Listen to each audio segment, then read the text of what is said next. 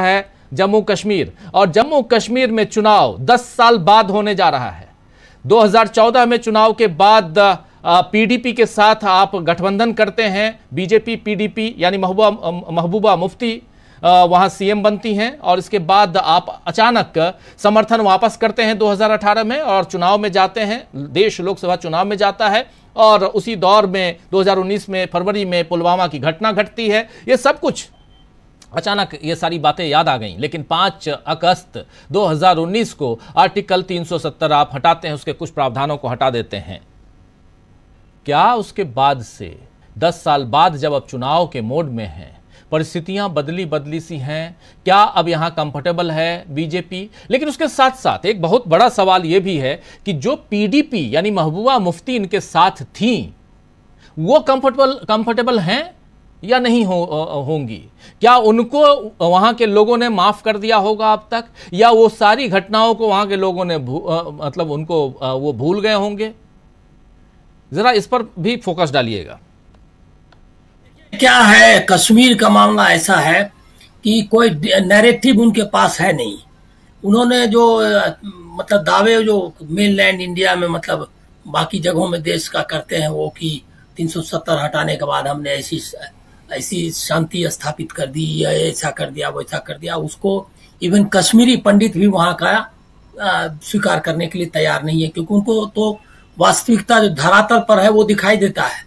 जो कश्मीर के लोगों ने जो सहा है, वो तो अलग बात है, जो इनका समूह के रूप में जो सबसे बड़ा एलाय है, कश्मीरी पंडित, वो भी वो देख रहा है कि जहाँ जहाँ उन्होंने उनकी, उनको नौकरी के लिए भेजा, वो वहाँ नौकरी में काम नहीं कर पाए, हत्याएँ हुई लोगों को का, कोई वहाँ कुछ नहीं कर पाया। तो जो उनको पुनर्स्थापित करने का जो दावा किया था इन्होंने वो गलत निकला। और जो कश्मीर का बाकी अवाम है वहाँ का वो उसको तो वो देख ही रही है कि किस तरह का सिचुएशन है। तो ये फेल्ड नैरेटिव का मामला है फेल्ड गवर्नेंस का मामला है। ये मोदी मीडिया के सहारे डिविसिव पॉलिटिक्स के लिए कश्मीर का के 370 और कश्मीर के की समस्या का इस्तेमाल भले कर सकते हैं लेकिन कश्मीर में तो ये इस्तेमाल नहीं हो सकता ना। तो इसीलिए वो वहाँ जम्मू में भी हारेंगे वो। दूसरा, कोई एलाय उनके पास नहीं है, गुलाम नबी आज़ाद और सजाद लोन को छोड़ करके। तो ये दोनों शख्स जो है, जो इनका बी टीम, सी टीम, जो आप कहिए, जो बोल रहे थे फारूक अब्दुल्ला तो वो वो इनके साथ भले ही आ सकते हैं, बाकी कोई इनके साथ आने वाला नहीं है। तो कश्मीर का तो लॉस लॉस्ट नैरेटिव है लॉस्ट गवर्नेंस है, और ये जो गवर्नर लेफ्टिनेंट गवर्नर है, उनके बारे में आप कई तरह का सुन ही चुके हैं। इस और वहाँ किस तरह कोशिश आरएसएस के पदाधिकारी कर रहे थे, एक बड़ी कॉरपोरेट कंपनी के लिए दलाली का काम, वो भी लोगों का आ चुका है। तो वहाँ पर एक पुलिंदा है भ्रष्टाचार का मिस गवर्नेंस का एट्रोसिटीज का डेमोक्रेटिक राइट्स के हनन का। तो वो जो है, वो रियल टेस्ट केस है इंडियन डेमोक्रेसी का, जहाँ की इंडियन डेमोक्रेसी को फेल मानना चाहिए इनके नेतृत्व में। तो इसीलिए मतलब जिस तरह से कश्मीर में किया गया, इंटरनेट इतने समय बंद रखा, कितनी क्या क्या तकलीफें वहाँ के लोगों ने सही है, क्योंकि हम लोग डेमोक्रेटिक नहीं रह गए हैं। हिंदुस्तान के, का एक बड़ा मध्य वर्ग जो है, अनडेमोक्रेटिक है, कॉमनल है, और ये है, क्या कहते हैं मतलब इन चीज़ों को समर्थन करने वाला है। तो ऐसे ऐसे, इस वजह से ये चल गया। नहीं तो दूसरे किसी भी सभ्य मुल्क में जो कश्मीर के साथ किया गया इन्होंने उसको स्वीकार नहीं करता। अब है क्या कि महाराष्ट्र और ये क्या कहते हैं, कश्मीर का इलेक्शन इसलिए अलग किया गया कि दोनों जगह अलग अलग नैरेटिव पे चुनाव लड़ना है। यहाँ डिविसिव पॉलिटिक्स जो है, कश्मीर को दिखा करके चुनाव लड़ना है।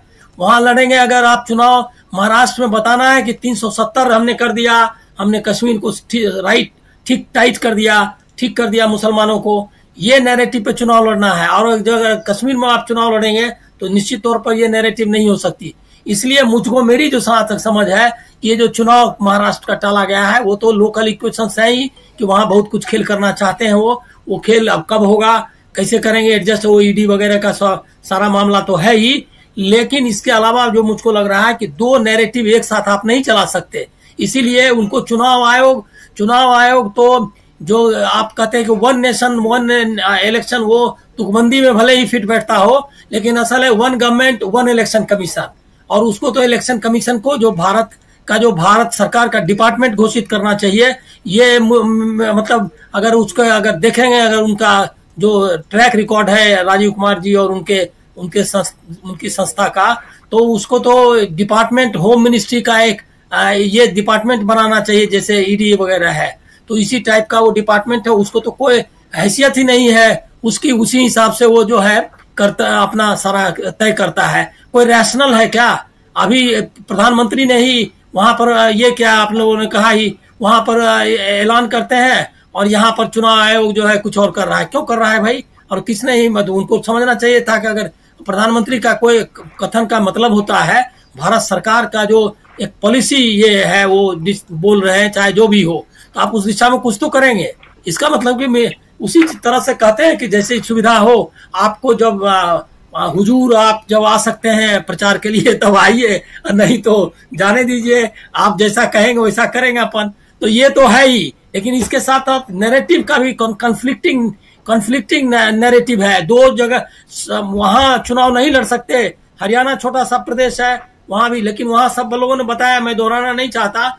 हरियाणा में भी कोई नैरेटिव नहीं है। मैं तो आपको कह रहा हूँ कि सिर्फ़ विनेश फोगाट एक बड़ा ऐसा इशू है, जिस पर वो चुनाव हार जाएगी, ये मतलब बीजेपी वहाँ। किसान वगैरह का मुद्दा तो पहले से चला रहा है, सिर्फ़ इस मुद्दे पर। पूरा देश और पूरा यह हरियाणा, वो कोई जाट वगैरह का मामला नहीं है, सबके प्राइड का मामला है। वो सिर्फ़ एक, उस बच्ची के लिए समर्थन में लोग उसको हराएँगे, ऐसा मुझको लगता है। और अभी अगर ये चुनाव हो जाए देश में तो देश में भी ये बीजेपी कई सीटें हार जाएगी। उसके नज़दीक ज़बरदस्त समर्थन। और सब लोग मान रहे हैं कि इसमें षड्यंत्र है। कोई इन, इसको इनको ये करने के लिए मतलब तैयार नहीं है कि ये दोषी नहीं है। उन सबको लगता है कि साजिश हुई है। और ध्रुव राठी का तो आ गया। ये क्या कहते हैं उनका वीडियो भी आ गया है। अब वो देखिए वो उसका अभी मैंने देखा नहीं है उसके व्यूअरशिप कितनी है।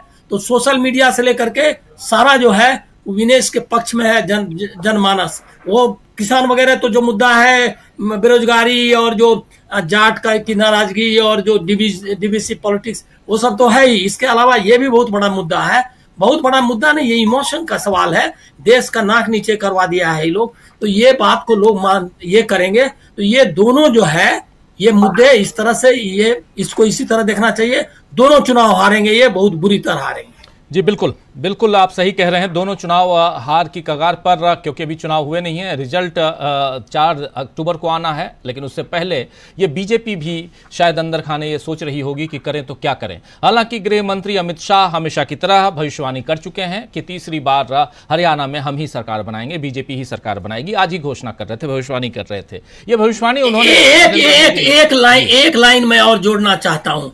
अगर इस बार इन्होंने कहा इतना पार उतना पार मतलब नब्बे सौ पार पार जो भी करते हैं ये तो इनको जमुना पार कर देगी हरियाणा की जनता। जी जी बस... जी जी जी।